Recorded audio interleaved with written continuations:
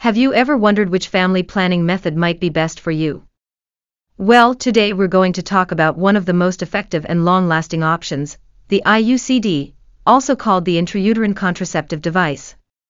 In this video, I'll explain what it is, how it works, the benefits, and also some possible side effects. Let's dive in. What is IUCD? The IUCD is a small, T-shaped device made of plastic, and sometimes wrapped with copper. A healthcare provider places it inside the uterus to prevent pregnancy. It's simple but very effective. Types of IUCD There are two main types of IUCD. The first one is the copper IUCD, which can last up to 10 years. The second one is the hormonal IUCD, which slowly releases a small amount of hormone and can last between 3 to 5 years. How does IUCD work? The copper IUCD.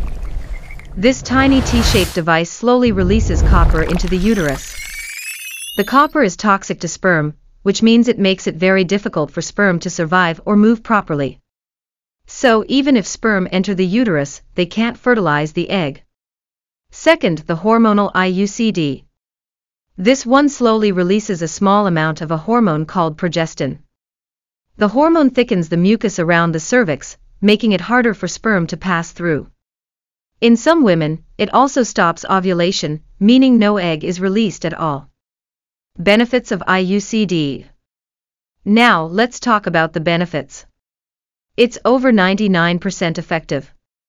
It gives long-term protection without daily effort. It doesn't interrupt intimacy. It's safe for breastfeeding mothers. And the best part is, you don't have to remember to take a pill every day.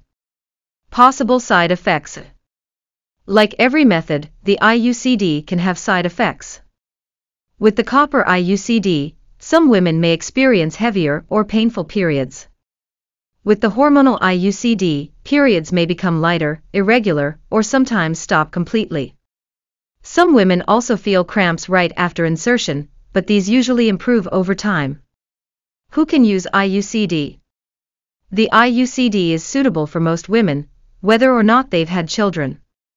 But it's always best to check with a healthcare provider first, so you know it's right for you. Thanks for watching.